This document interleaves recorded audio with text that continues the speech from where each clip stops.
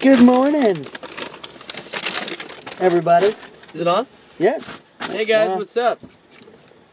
It is uh, day number three, it's the third day already. morning number three. We already opened a gift um, from Miss Hannah Nussbaum. Thank you very much. Thank you for I the trail mix and the uh, a Swedish fish. I personal favorite Swedish fish. So I think you. we'll enjoy that very much. So thank you.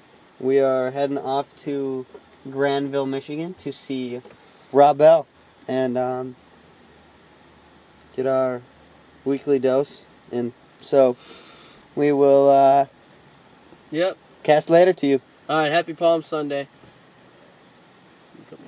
Well, here we go. Uh, this is at Mars Hill. Just an awesome place. I I was astounded at how much stuff there was I really liked about this place. It was cool. God is green. Love everyone. Recycled uh, booklets and pamphlets. It was awesome. Okay, this is uh, this is the Meyer May House, um, and uh, it was located uh, in uh, in Grand Rapids on another street near the church, um, and uh, some of the outside architecture you see, uh, and um, this was a copper repainted. All this stuff was re refinished and refurbished after it was like almost destroyed. But yeah, go ahead. Uh, the red bricks lead you to the house, and around the house are where the. Um, this is especially cool. This was a mortar that had to be uh, varied in color because Frank Lloyd Wright wanted specific horizontal lines, So the vertical lines were the same color as the bricks to make it look like one um, horizontal plane. which is pretty sweet. Then this is a, a living room, and the amazing uh, overhead stained glass windows just all around the front of this living room on the east side to let the light in. Uh, big space, um, lots of light. This is probably the the, the most uh, captivating room I've, I've ever seen before. Yeah. Um, it was absolutely it was absolutely great. It was it was gorgeous. Um, here's a cool mural that they were able to restore, and um, this is a place where guests would put their coats and such. Um, this was awesome. You enter the uh, home, and it's super dark, and that's what he wanted to dark, and then you get into a big space. Um, this is uh, the kitchen table, just awesome. Just look at the lamps on the ends. It was really um, built to make it uncomfortable for the kids, almost they would say, um, so that you know um, attention would be on the head of the household. More of the windows in the kitchen. Uh, this is our sink. Pretty cool little overflow device there. I um, hadn't seen before. Um, another shot into the living room from the uh, dining room. Um, this is some more of that uh, that stained glass window style that Frank Lloyd Wright had. This is going upstairs. Um, some more carpet that was the original carpet that they found out, but they had to redo it all. So, but they redid it completely in the original style. Uh, more of the similar windows. Um, a uh, shower that you could control the temperature even during that time. A really crazy toilet, uh, which was really essential to this. Um, and uh, just some more of that window style. Ups, was that upstairs? Yeah, Yeah, that was a master bedroom.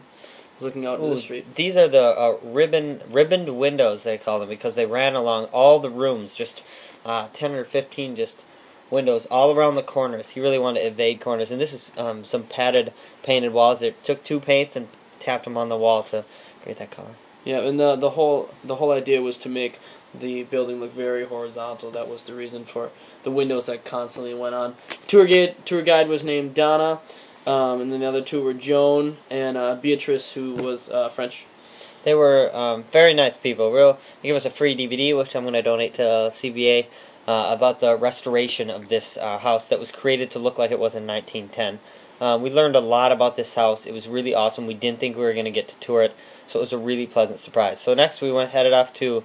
Um, nope, there's my nerdy driving. Um, and we headed off to uh, see Grandma Hannah Nussbaum. Charlie, this is for you. It, it appears to be in the shape of, of a big boy. that uh, also appears to be in the shape of a big boy. Look Sir. at Kevin. We didn't actually eat there. Don't worry. That's Uh, also a big boy. And then here's us with um, the hospitality we had. Ladies and gentlemen, it's day three, and uh, and we, here we are at the end of our journey on day three.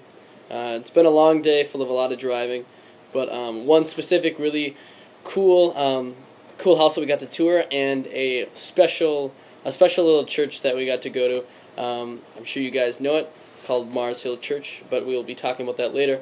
Um, here we are now at um, at Hannah's grandmother's house. So Hannah, you will be able to see the whole family. Here we go. To my right, Oh, well, hello there, Hannah. It's your lovely grandmother. well, this is nice to have the boys here for the evening and having a good time together. Okay. Here we go to your uncle. Hi, everybody. How you doing? Yeah, this is great having them come stop in. Well, we're very thankful um, for them to let us stay here, uh, food and lodging. So.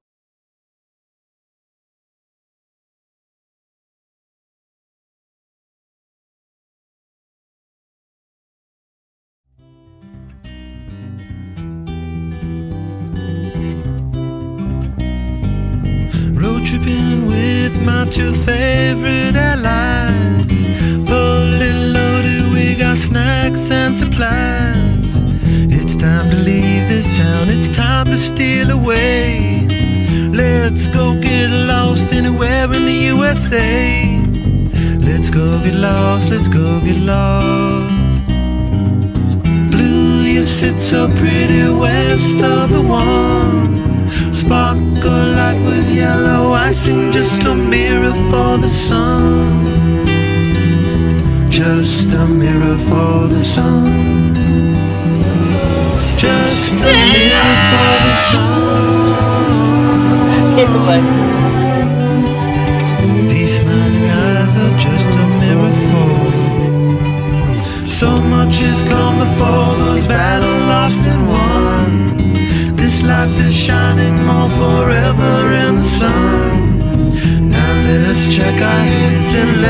check the surf.